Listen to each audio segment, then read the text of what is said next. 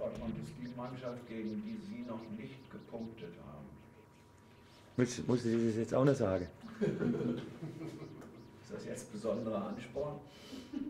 Besonderer Ansporn. Nein, ich habe mir überlegt, ob ich überhaupt im Stadion gehe am Samstag. Nein, es ist äh, Gott erbärmlich natürlich. Das ist klar. Das ist furchtbar. Aber es ist nur symbolisch furchtbar, weil es ist ja nur ein Spiel. Und da Sie gesagt haben, das ist die einzige Mannschaft, wo sie noch keinen Punkt geholt haben, haben wir offensichtlich gegen alle anderen Mannschaften, wo wir gegen den Punkte geholt. Das ist ja dann auch wieder schön. Fakt ist, wir haben noch keine einzige, in der so Konstellation, wie wir da sind, das sind ja genauso nicht meine Mittrainer schuld. Und alle Spieler, die die ganze Jahre hier gespielt haben, alle.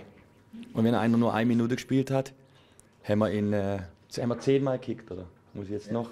Elf, elfmal. Super. Haben wir noch keinen Punkt geholt. Elf Spiele, kein Punkt ist,